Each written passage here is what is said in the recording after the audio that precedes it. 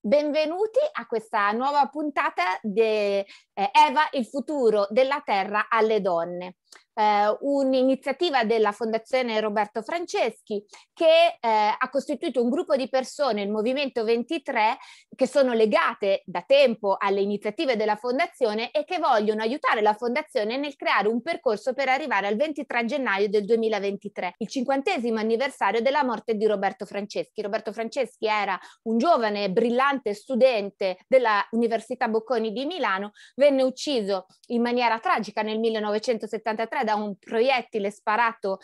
dalle forze dell'ordine e ehm, la sua famiglia ha creato questa fondazione che per onorare la sua memoria sostiene tantissimo i giovani meritevoli che vogliono studiare e impegnarsi nella ricerca eh, accademica.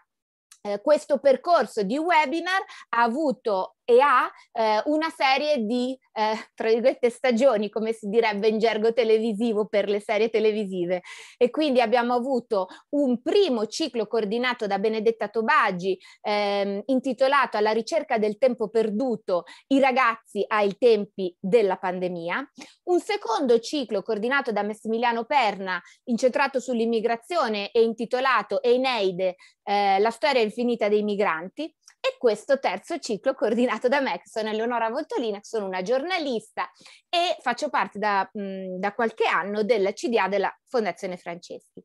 Oggi, per questa puntata dedicata al gender gap e alle difficoltà che eh, incontrano le donne nel mondo del lavoro, anche a causa degli stereotipi di genere che ancora sono incardinati nella nostra società, abbiamo due ospiti molto speciali, eh, la ricercatrice Michela Carlana e Alessia Mosca, che è stata parlamentare, che è docente universitaria e che oggi ci racconterà anche di una nuovissima iniziativa che ha lanciato eh, da mm, poco più di un anno.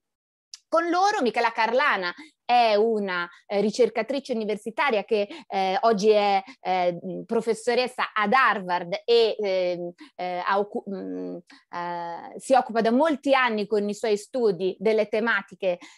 di genere e quindi poi io racconterò, quando eh, nel corso di questa puntata, vi racconterò anche un po' meglio chi sono queste due nostre protagoniste. Ma comincio subito rompendo il ghiaccio, come sto eh, cercando di fare per tutte le puntate di eh, questi webinar, eh, con una citazione da un libro. E questa volta vi cito eh, un libro di Gabriela Iacomella, una giornalista e attivista, si chiama 12 parole, il eh, sottotitolo è Storie e pensieri di donne straordinarie per diventare ciò che vuoi essere, pubblicato da Feltrinelli ed è un libro che ha come target quello delle ragazze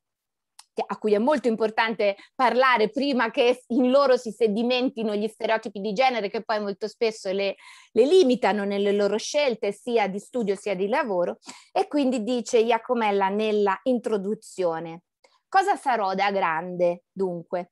E magari a un certo punto vi verrà da usare uno di quei nomi eh, che ho elencato poche righe sopra eh, avete notato una cosa? Li ho messi al maschile perché nella nostra società e nella nostra cultura, quando si parla di concetti generali, si usa per tradizione quel genere che in qualche modo ci comprende tutti e tutte, o perché, e questo è più triste, per certi desideri e per certe professioni si pensa inevitabilmente alla versione del maschio, il supereroe e non la supereroina, il pilota di Formula 1 e non la pilota di Formula 1, il calciatore e non la carciatrice. E poi, un poco più avanti, dice, proprio come di solito si utilizzano nomi al maschile per definire specifiche professioni, però, ci avete fatto caso? Non è poi così diffuso leggere sui giornali la ministra o la commissaria di polizia, anche se sarebbero espressioni corrette? Capita ancora di sentirsi dire, magari a mezza voce o con un sorriso per rendere la pillola meno amara, che per fare carriera o per realizzare i nostri sogni dovremmo comportarci da maschi, o meglio che ci sono alcune caratteristiche in cui potremmo riconoscerci che vanno benissimo per la nostra vita privata, con gli amici, in famiglia, ma meno bene per il lavoro. Siamo sognatrici e sensibili, quindi ci manca il senso della realtà. Ci piace lavorare in gruppo e scambiare idee, quindi non siamo abbastanza competitive. Siamo femministe, quindi entriamo in rotta di collisione con i maschi. Siamo femminili, quindi rischiamo di essere scambiate per superficiali. A volte ci sentiamo dire tutto il contrario di tutto, siamo troppo disciplinate e non abbastanza creative, oppure siamo troppo ribelli e non sappiamo essere strategiche. E spesso, troppo spesso, ci troviamo di fronte a dei no, magari mascherati da consigli. Non è che non puoi fare carriera in aeronautica, ma lo sai che è un posto da maschi. È bello fare la manager, ma bisogna essere molto duri e rinunciare alla famiglia. La matematica è interessantissima, però si sa che i gruppi di ricerca sono tutti di maschi e ti taglierebbero fuori. Naturalmente questo libro poi procede nel demolire questi stereotipi per dare una, una prospettiva più ampia alle, alle ragazze, una prospettiva di vera scelta, di scelta libera. E quindi alle mie due ospiti oggi chiedo un piccolo botta e risposta iniziale per scaldare i motori e quindi a ciascuna di loro chiedo come siamo, come percepite, che, a che punto siamo rispetto a questo eh, percorso verso la demolizione di questi stereotipi di genere? Siamo bene avanti, stiamo facendo tanti passi avanti oppure per ogni due passi avanti rischiamo di fare un passo indietro? Do prima la parola, diciamo, in, in rigoroso ordine alfabetico a Michela Carlana. Grazie mille per l'invito ad essere qui oggi. Allora, eh, sono stati fatti notevoli passi avanti negli ultimi 50 anni che non dobbiamo negare. Attualmente all'università la maggior parte delle, delle, delle persone iscritte sono donne in tutto il mondo, praticamente in tutti i paesi eh, OECD countries. Eh, e, e, e, d'altra parte anche la partecipazione del mondo del lavoro è aumentata moltissimo eh, negli ultimi anni. Tuttavia ci sono stereotipi di genere che sono veramente ehm,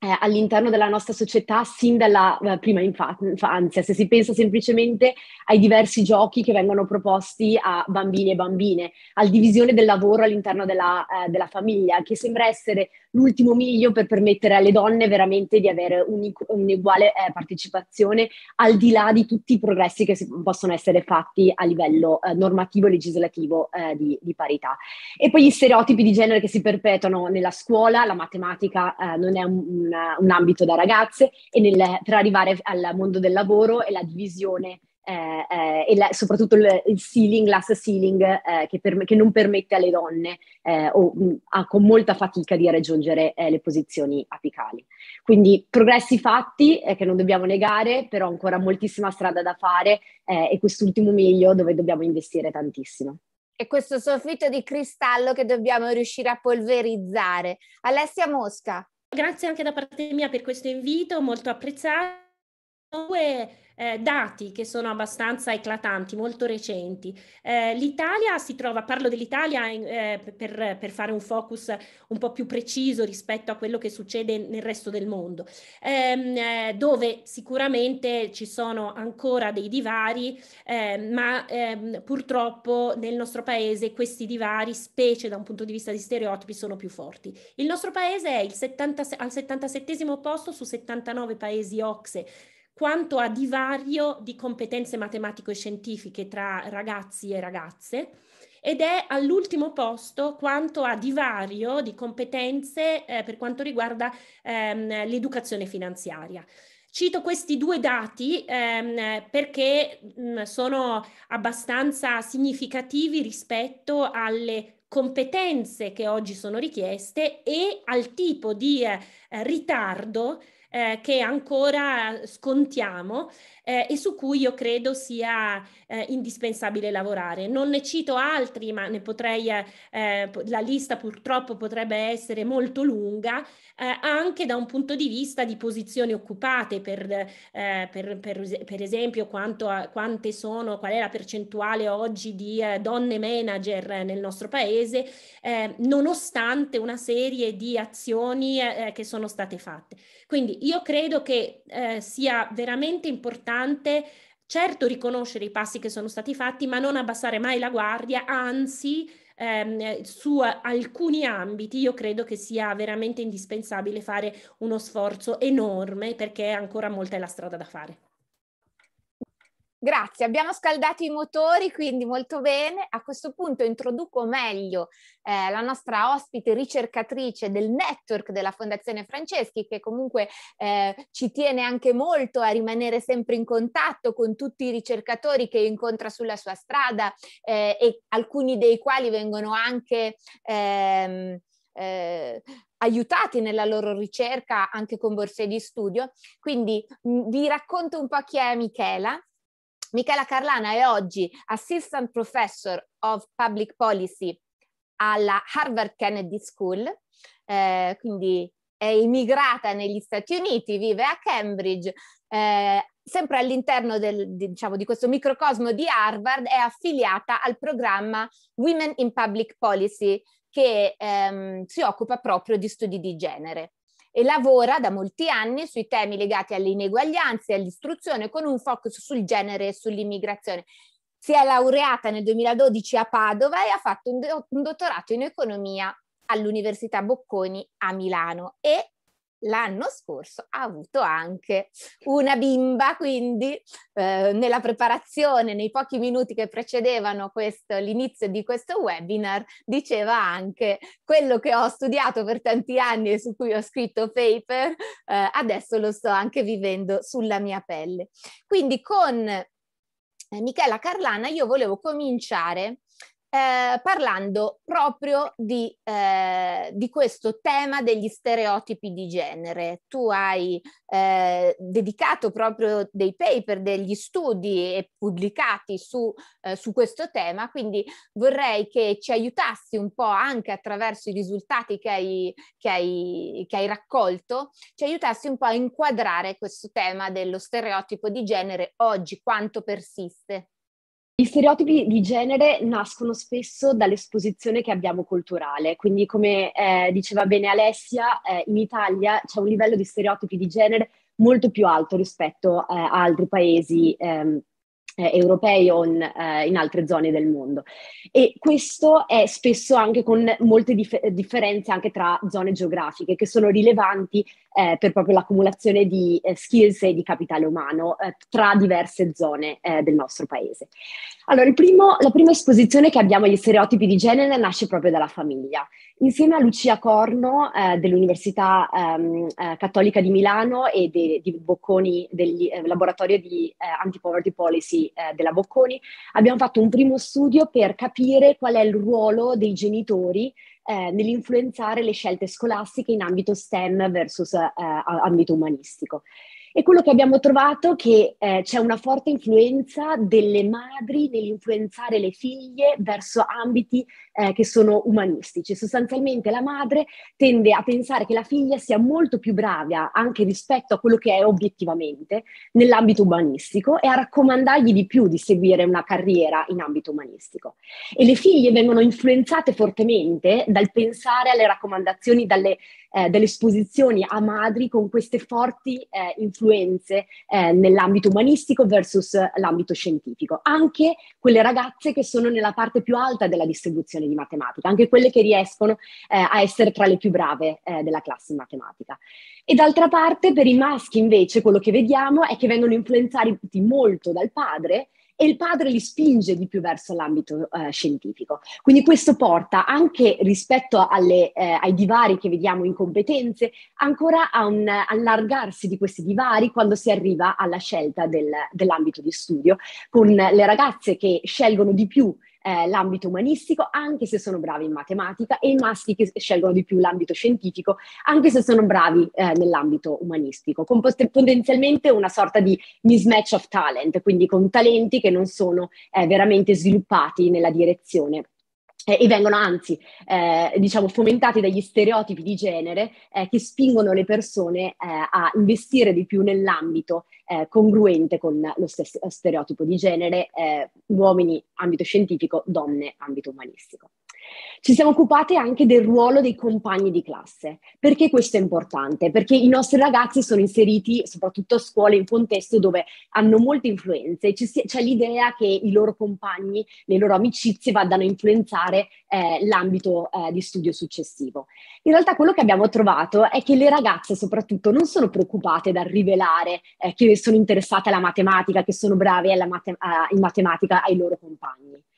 Tuttavia, quando sanno che dovranno andare a interagire eh, con eh, soltanto maschi in un ambito scientifico, quindi saranno una minorità nel gruppo di studio, come succede in, molte, eh, in molti licei scientifici applicati dove c'è più matematica, tendono a decidere di stare fuori da quell'ambito. Quindi il fatto di essere una minoranza all'interno del gruppo di studio è una, una componente rilevante per la scelta delle studentesse al di là delle materie che vanno a trattare. Quindi per come è organizzato il nostro sistema scolastico, dove abbiamo edifici separati o comunque percorsi eh, separati alla scuola superiore in base eh, alle, non solo alle materie, ma anche alla, che varia la composizione di compagni di classe, ci porta a generare, una, perpetuare il gap di stereotipi di genere perché le ragazze, anche brave in matematica, non vogliono essere una scuola dove sono una minoranza e quindi decidono di cambiare percorso e fare qualcos'altro, investendo così meno in delle skills che hanno un ritorno molto alto nel eh, mercato del lavoro.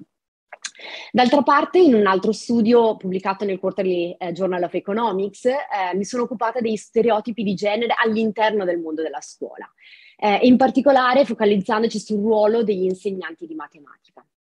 quello che ho trovato, io lavoro molto eh, nell'intersezione tra economia e psicologia, quindi ho utilizzato uno strumento che si chiama Implicit Association Test, che è stato sviluppato da degli psicologi, ehm, in base al quale si riesce a catturare l'associazione implicita di un individuo eh, tra ambito di studio e genere.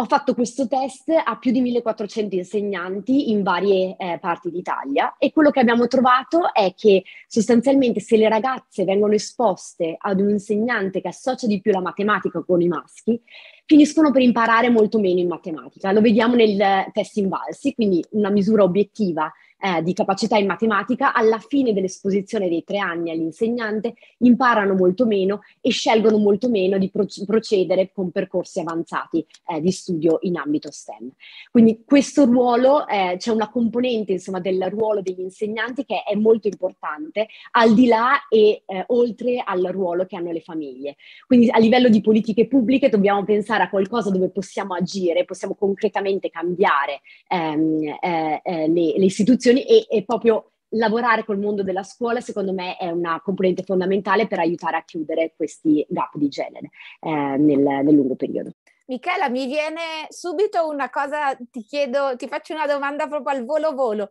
Quando voi fate queste ricerche e quindi verificate attraverso questa, questo metodo che hai descritto quanto eh, ci siano proprio anche quasi inconsciamente all'interno di alcuni insegnanti degli stereotipi di genere. Poi c'è una fase di restituzione all'insegnante stesso che ha partecipato alla ricerca in modo che magari anche lui o lei possa lavorare su questo suo stereotipo e magari eliminarlo?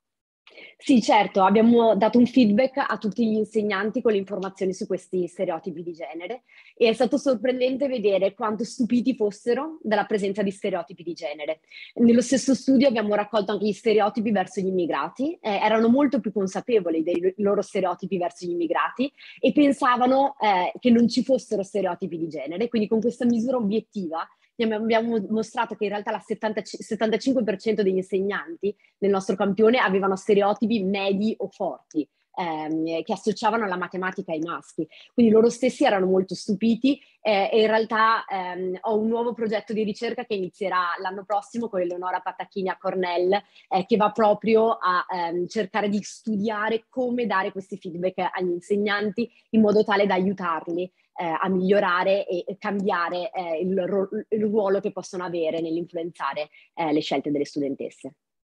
Ah, bellissimo, veramente fai un lavoro molto molto interessante. Allora, adesso vi, vi presento la nostra altra ospite di questo webinar, Alessia Mosca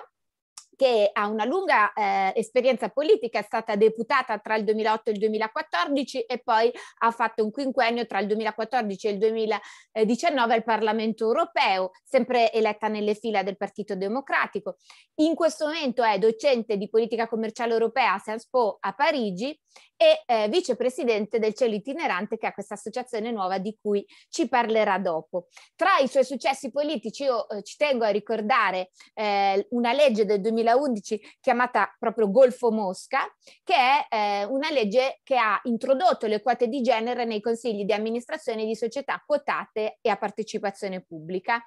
e è una legge che poi negli anni ha creato un terremoto all'interno di questi CDA portando tantissime donne che altrimenti sarebbero rimaste fuori e addirittura facendo anche alzare la qualità media dei curriculum delle persone, dei, dei membri di questi CDA.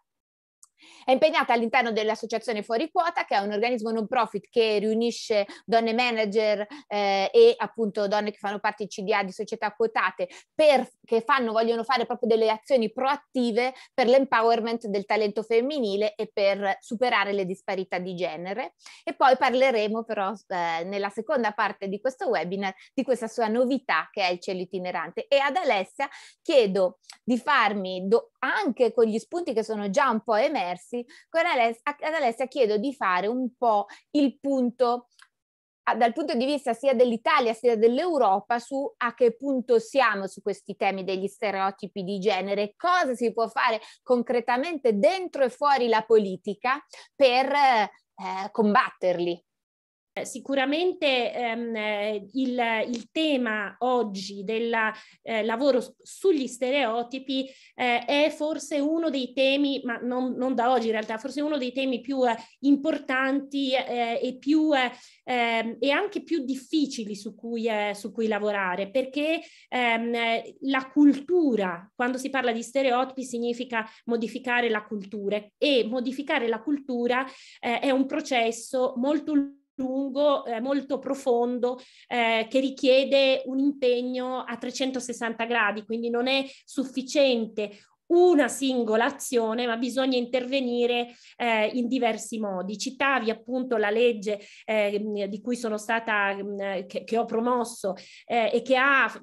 certamente che ha rappresentato una rivoluzione nel panorama italiano. Noi basti pensare che noi eh, come Italia eravamo eh, sui consigli di amministrazione eh, uno dei paesi mh, peggio messi dieci anni fa, la legge ha 11 anni quest'anno, eh, peggio messi perché avevamo meno eh, del 5% di donne nei consigli di amministrazione e il consiglio di amministrazione di per sé ha un significato proprio simbolico anche, oltre che pratico. Simbolicamente è il luogo delle decisioni, è il luogo del potere, perciò per noi eh, c'era anche un tentativo di lavoro proprio sugli stereotipi, lavorare sulla eh, fotografia del tavolo del potere eh, poteva im, immettere nella cultura più diffusa anche una concezione per cui eh, possono entrare anche le donne in quelli che erano fino a pochi anni fa considerati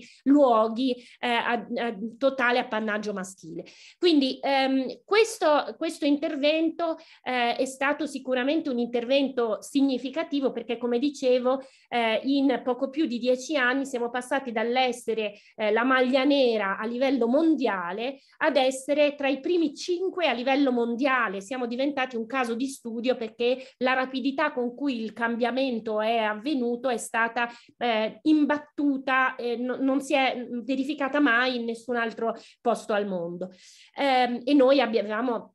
Avevamo preso spunto da altre leggi simili alla nostra, pochi, anni, poco, pochi mesi prima eh, della Golfo Mosca era entrata in vigore in Francia la Copé Zimmermann, che di fatto è la, la versione francese de, della Golfo Mosca. Ma in Francia non c'è stata, si partiva diciamo da una situazione più eh, favorevole e il, la velocità del cambiamento non è stata così eh, ehm, come quella che c'è stata in Italia. Ma questo non è stato sufficiente eh, perché moltissimi degli stereotipi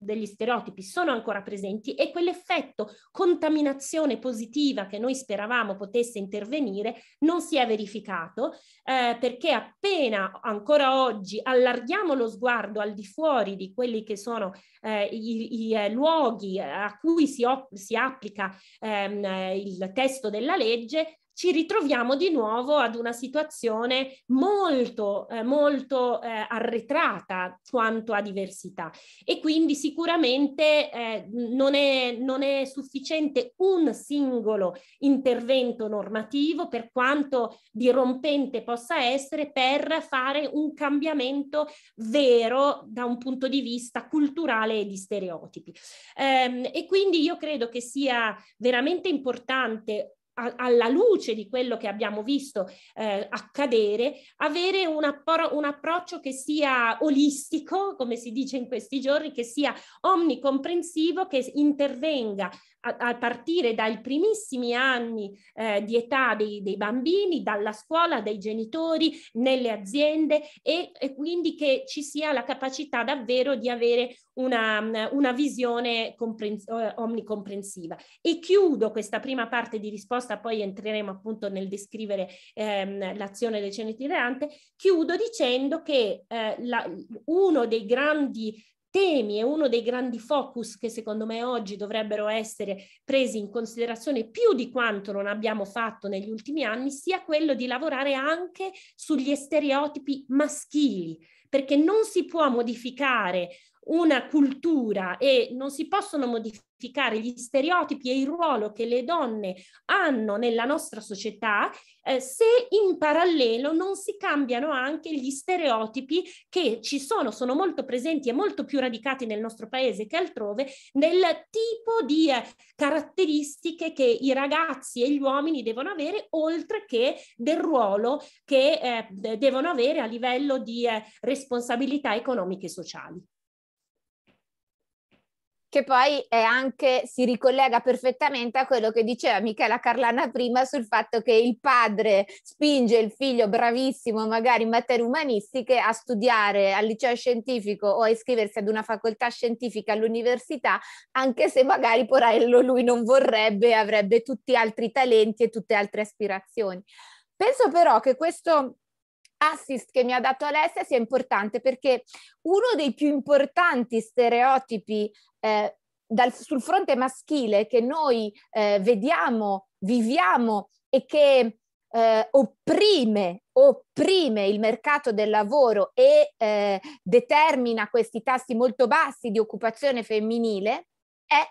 lo stereotipo della cura della prole, cioè il fatto che quando le donne entrano nel mercato del lavoro molto spesso vengono vissute dal, dalla parte datoriale come delle bombe a orologeria per il solo fatto di avere un utero e quindi di avere la possibilità in futuro, in un futuro diciamo ipotetico, di poter mettere al mondo un figlio e quindi non solo di avere il tema della gravidanza e del parto, ma anche poi di essere in qualche modo con la lettera scarlatta che invece la A di adultera, la M di madre e quindi che poi suo, la sua produttività sul lavoro, la sua attenzione al lavoro non sarà mai più la stessa per il fatto che la sua priorità a quel punto sarà il figlio. E quindi qui si innesca lo stereotipo di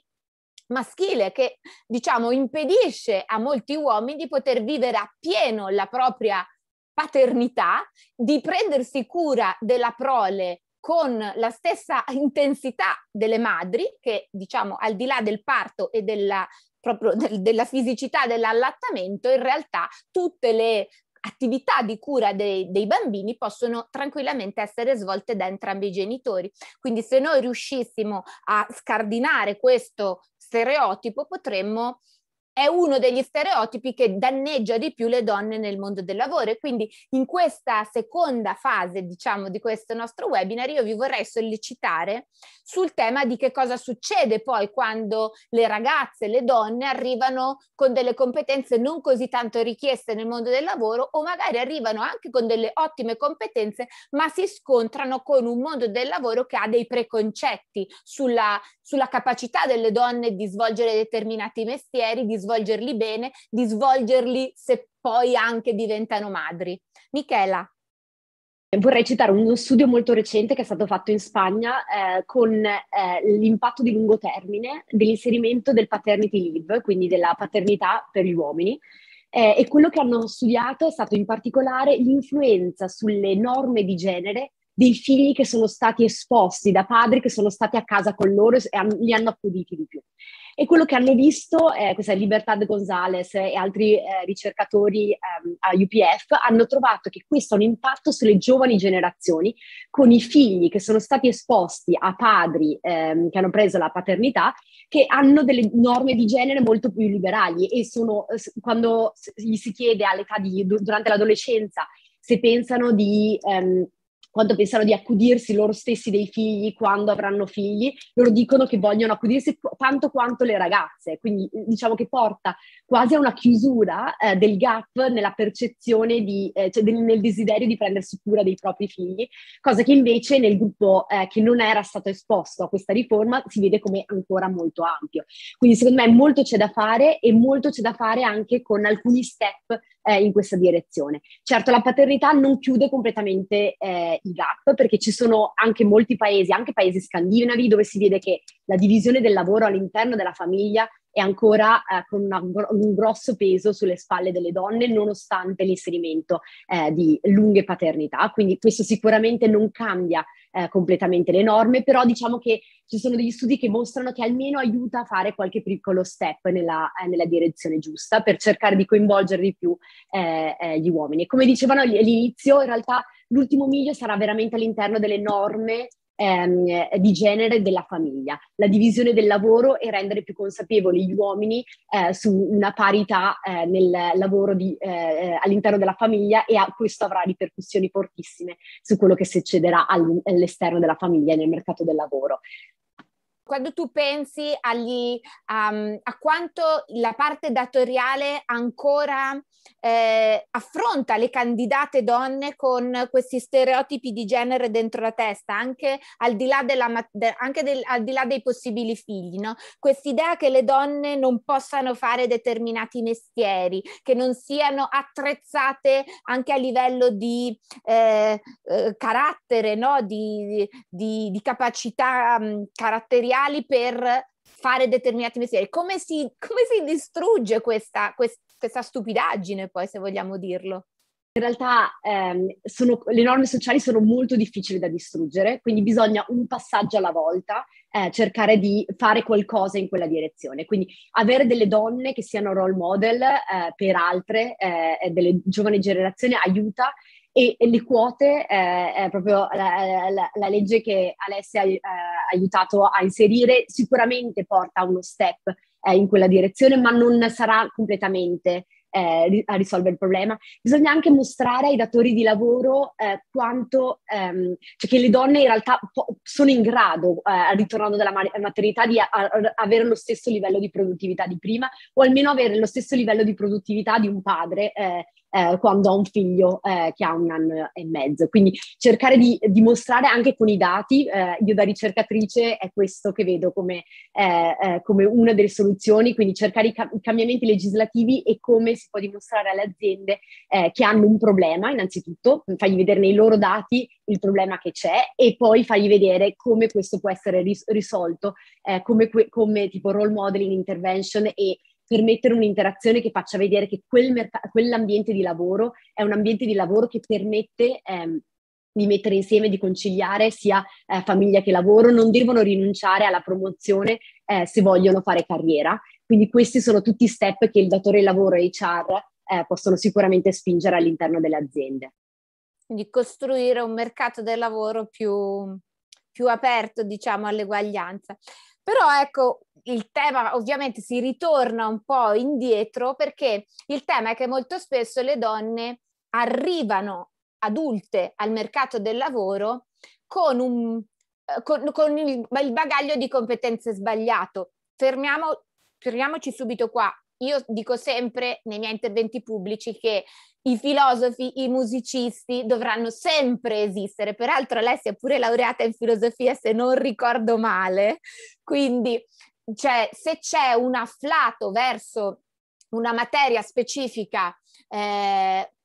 umanistica completamente slegata, diciamo, dal mondo del lavoro e della tecnologia attuale, però c'è una, una, passione, un talento, un'aspirazione di una persona che sia maschio, che sia femmina, verso quella materia lì, io sono la prima che dice segui il tuo sogno. Però noi dobbiamo fare i conti anche con una grande una grande quota di persone che non scelgono e non hanno le idee così chiare a 13 anni quando scelgono la scuola superiore o a 18 quando scelgono l'università o di entrare nel mondo del lavoro direttamente. E quindi abbiamo una grande quota di persone che non avendo un'aspirazione specifica, un,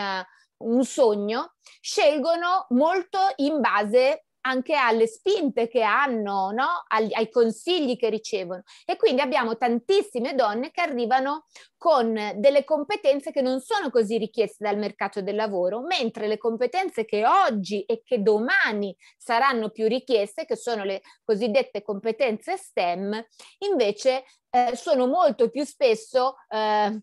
mh, avute dai maschi che invece sono stati quasi sempre incoraggiati a fare quel tipo di studi, ad acquisire quel tipo di competenze. Ed è proprio su questo che si, si basa, credo, il, l'obiettivo eh, finale dell'associazione che Alessia Mosca ha contribuito a fondare l'anno scorso che si chiama Il cielo itinerante e di cui diciamo vorrei sentire qualcosa di più perché secondo me si prefiggono di, di, fare qualcosa che avrà un forte impatto su, sui bambini e le bambine che saranno poi i giovani di domani. Sì, eh, siamo proprio partiti da questa considerazione eh, che veniva citata in modo differente negli interventi precedenti. Eh, non c'è nessuno che è portato per la matematica, per la scienza, dipende da come lo si porta eh, quindi dipende da che tipo di eh, contesto e da che tipo di eh, modelli, di quali sono appunto le spinte che vengono e, e la modalità con cui eh, queste, mh, i, i, ragazzi sono esposti alle, alle diverse eh, materie di studio.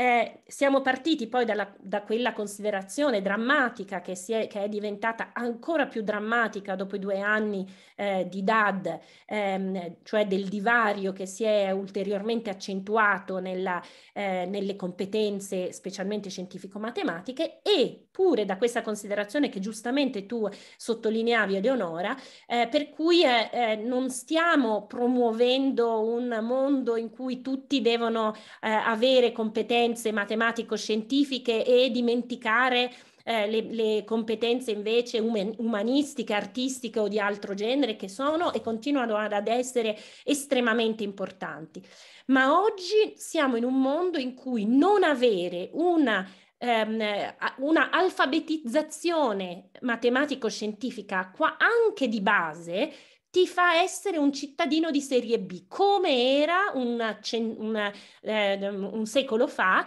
non avere la capacità di leggere e scrivere, perché oggi sempre di più siamo in un mondo in cui, e l'abbiamo visto sulla nostra pelle, ai noi, eh, quanto avere anche una infarinatura di competenze matematico-scientifiche sia indispensabile se si vuole avere il pensiero critico e la capacità di essere davvero dei cittadini capaci di eh, partecipare a tutto tondo alla nostra, contribu- e contribuire alla nostra società. Da qui siamo partiti, da questa considerazione siamo, siamo partiti per ehm, questo che è un tour, un nostro tour. Abbiamo mutuato in realtà un'idea eh, di una astrofisica eh, africana, Susan Murabana, che è la presidentessa del nostro comitato scientifico, ehm, e che con il marito ha messo dei telescopi sul, eh, suo, sulla sua macchina e ha girato per i villaggi eh, del Kenya eh, per far vedere le stelle ai bambini che normalmente non le potevano vedere.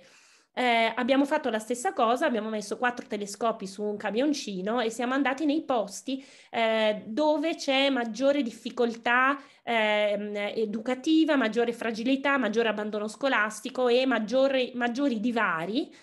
maggiori diseguaglianze per fare vedere le stelle ai bambini ehm, eh, attraverso il telescopio. Perché le stelle? Perché da sempre l'osservazione dell'universo, da che mondo è mondo, ha portato a un avanzamento della, dell'umanità da tutti i punti di vista, non solo matematico-scientifico, ma anche, eh, se vogliamo, filosofico, religioso, artistico, perché eh, l'osservazione del cielo, l'osservazione dell'universo ha sempre ispirato e ha fatto nascere il desiderio di migliorarsi. Quindi quello che noi eh, speriamo e abbiamo cercato di fare in questi due anni, in, in, al momento è in corso il secondo tour, eh, è quello di eh, instillare il desiderio, instillare all'interno di questi eh, ragazzi, che sono ragazzi la, la, fascia d'età alla quale noi ci rivolgiamo eh, la fascia d'età tipicamente delle medie, eh, instillare in loro il desiderio eh, di poter, di voler andare oltre la propria quotidianità, quindi superare gli stereotipi, superare l'idea che il loro destino sia determinato in qualche modo e dar loro l'idea invece che possono prendere in mano il loro destino e decidere quello che eh, vogliono continuare a fare, quello che vogliono approfondire, quello che vogliono eh, studiare. Um, e in questo modo cerchiamo di dar loro quindi di, di gettare qualche seme eh, che poi deve essere eh, coltivato e che può portare quindi, speriamo, ad una riduzione di questi, eh, di questi stereotipi. Lo facciamo anche consapevoli del fatto, come abbiamo più volte detto nella nostra conversazione, che questo si può fare eh, non solo attraverso dei role model di eh,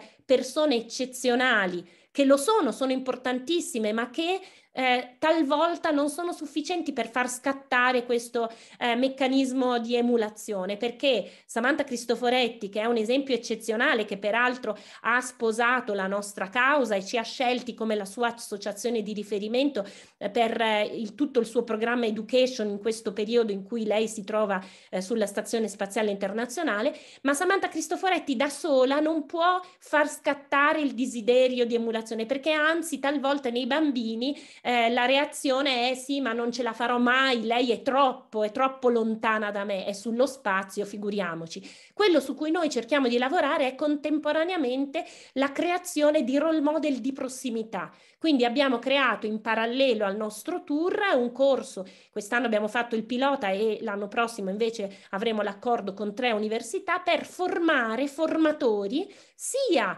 studenti universitari di materie scientifiche a cui insegniamo come divulgare la scienza, ma, e questa è anche una novità che proprio va in linea con quanto dicevi tu Eleonora prima, ehm, formiamo divulgatori scientifici tra gli studenti di materie umanistiche, eh, perché diamo l'idea che parlare di scienza e occuparsi di scienza, divulgarla, essere dei role model eh, per, ragazzini un po' più giovani, eh, lo si può fare a prescindere dal tipo di studi che poi si eh, decide poi di, di intraprendere, di, eh, di, di, approfondire in modo particolare, ma può essere una competenza in più e soprattutto nel mondo in cui noi eh, ci troviamo sappiamo bene come avere la flessibilità mentale di abbracciare diverse eh, materie e di, ehm, e di avere un po' di competenze se si è degli scienziati un po' di competenze umanistiche, eh, di soft skills e viceversa se si è degli umanisti un po' di competenze eh, scientifiche, è la chiave per poter districarsi nel mondo in cui eh, ci troviamo e soprattutto eh, trovare nuove soluzioni eh, perché lo vediamo tutti i giorni, il nostro pianeta, il nostro mondo ne ha assolutamente bisogno quindi un mix, diciamo, di competenze scientifiche e umanistiche. Io vorrei chiudere questo nostro webinar di oggi chiedendo a Michela di raccontarci in qualche minuto di questa ricerca che, se ho ben capito, di cui una parte esiste già e che poi c'è anche un progetto di ricerca successivo previsto che si chiama Hacking Gender Stereotypes, Girls Participation in Coding Clubs. Quindi l'idea di questo, eh, di questo grande eh, di questo grande field dell'informatica che è ancora così ostico per i giovani. Eh, io ricordo che eh, un paio d'anni fa, appena prima della pandemia, abbiamo, abbiamo, fatto con la Repubblica degli Stagisti, che è la testata che io dirigo, una ricerca insieme a Spindox, che è una società di consulenza informatica, una ricerca tra l'altro realizzata in collaborazione con l'Istituto Toniolo, il rapporto giovani, quindi comunque con una grande competenza sull'interrogare i giovani e abbiamo sviscerato il tema del perché i giovani non studiano informatica e soprattutto perché le giovani donne non studiano informatica. E abbiamo quindi in qualche modo aperto un vaso di Pandora, tra l'altro al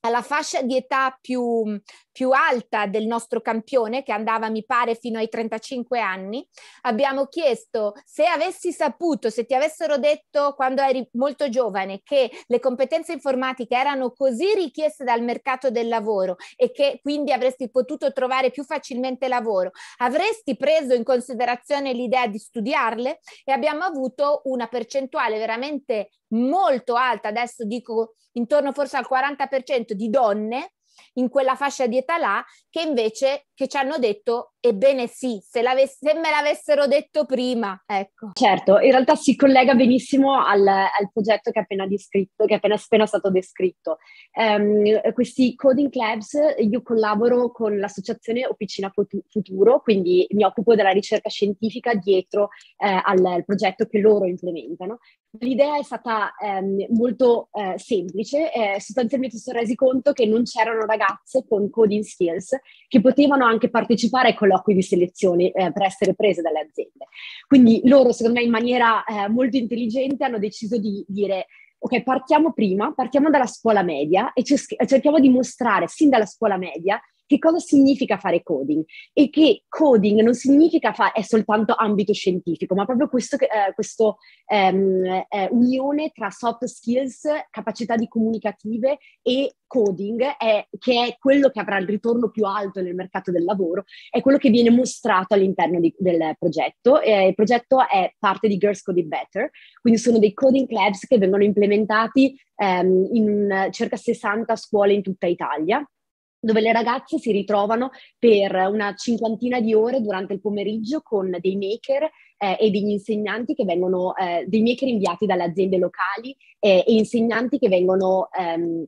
formati dal, dal, progetto su project based learning. Quindi loro decidono un progetto che abbia un ritorno per la scuola e per la eh, società intorno a loro, lo implementano, eh, quindi di- hanno loro l'idea su che cosa fare. E insieme a questi maker e insegnanti formati eh, sviluppano i codici che permettono di eh, creare delle app, che permettono eh, di fare ehm, una stampa 3D degli oggetti, ehm, fanno, de- vanno a sviluppare dei siti web, quindi fanno tutto quello che è necessario nei vari step eh, sottostanti e ancora basato su un progetto, cioè non mostrandogli che il coding è qualcosa di astratto, ma di quanto sia concreto e quanto possa concretamente a- aiutare a risolvere eh, dei problemi eh, quotidiani. Um, attualmente questa è parte di una ricerca e abbiamo appena avuto i dati per studiare l'impatto di medio periodo uh, di queste le prime ragazze che hanno partecipato alle prime edizioni e abbiamo trovato sostanzialmente un raddoppio della loro probabilità di eh,